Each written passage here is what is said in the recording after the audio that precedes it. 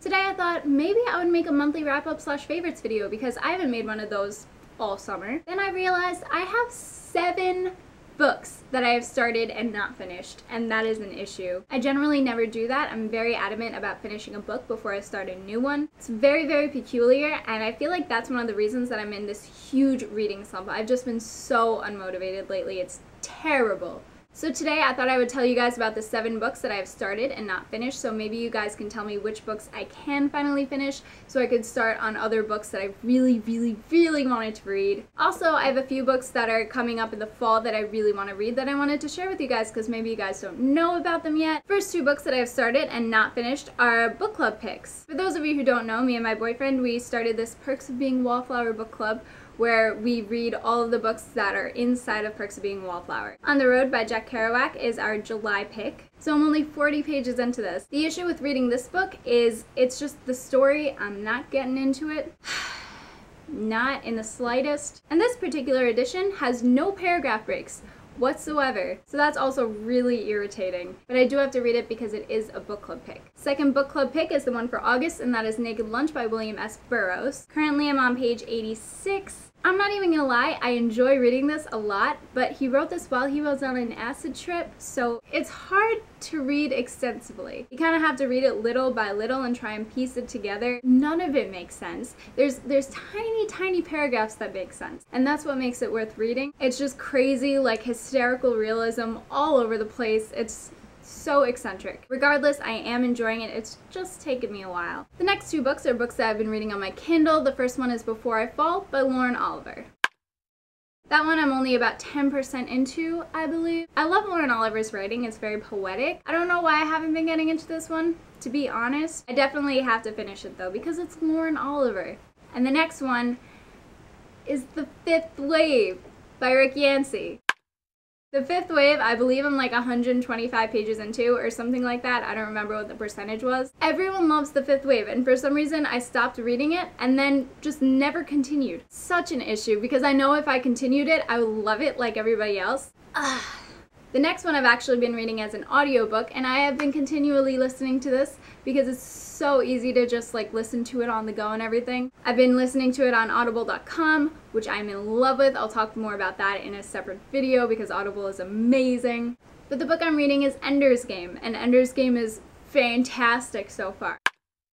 So I'm really excited to continue that. I believe I am like halfway into it. There's a part one and a part two just started part two. The next thing that I have to read is Death Note. Death Note is actually a series, but I'm counting it in here because it's a manga series. I should be finished with it by now. I'm currently on volume 7 out of 12, so I'm smack dab in the middle of it. All these crazy things are happening, and I just stopped. Issues. Such issues. The last one, save the best one for last, or the most pathetic in my case. I've mentioned this book on here about like three times now. Under the Dome by Stephen King. It's 1,095 pages. I'm on page 907. Now I started this one in May, and you would think, you know, that's reasonable because that's a long book. But I started it in May, and I could have finished it by now, and I'm on page 907, right? So that's when all the exciting stuff starts happening. And you're like, wow, I really need to know how Barbara gets out of this situation. And I'm like, yeah, I guess I'll read about Barbara and how the dome finally collapses. Like, I have no idea how this book is gonna end right now. Everything's going crazy. Yeah, I'm just like, I guess I'll read some pages today.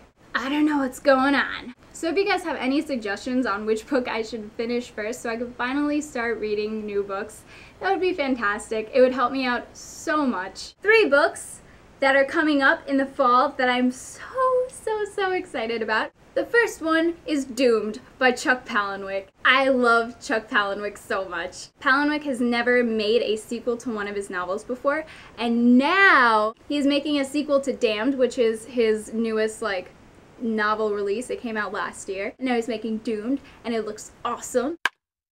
I'm so excited. Damned is about a 13 year old named Madison and she died and went to hell and this is all about her experiences in hell. To get a sequel of this, I think it will be a hilarious, hilarious addition to it. He is also making a I believe it's going to be a Kindle single, but you know, he's considering it a short story called Zombies. Apparently, it's a very emotional story, so I'm very, very excited to read that, as well as a graphic novel sequel to Fight Club. Ah! I believe that one's coming out in the fall as well. Very excited for these new Palahniuk books. You have no idea. Favorite author, so excited. Next one that I am incredibly excited for is Doctor Sleep. Doctor Sleep is going to be the sequel to Stephen King's The Shining. Stephen King made his sequel 30 years later. So I'm assuming it's going to be very, very interesting. The Shining is by far my favorite Stephen King novel so far. There was nothing wrong with it. Everything was absolutely incredible and it's actually extremely scary. A novel has never freaked me out so badly. So I'm very interested in seeing what Doctor Sleep is going to be like, mainly because it's 30 years into the future. Stephen King's writing has changed so dramatically that I wonder how he has written this one. The next one is my YA upcoming exciting novel. That is Crash Into You by Katie McGarry. I'm in love with Katie McGarry's writing. A lot of people think that it's generic. I love it. It's so good. I think she's just really good at capturing characters. It makes me really happy that she's going to be making yet another edition to... She always picks out characters from her other novels. So to hear more about these characters is going to be so exciting. And that's my three that I'm excited about. I'm sure there's so many other fantastic novels coming out. So please tell me which ones you guys are super excited about. And I'll be seeing you soon. Bye!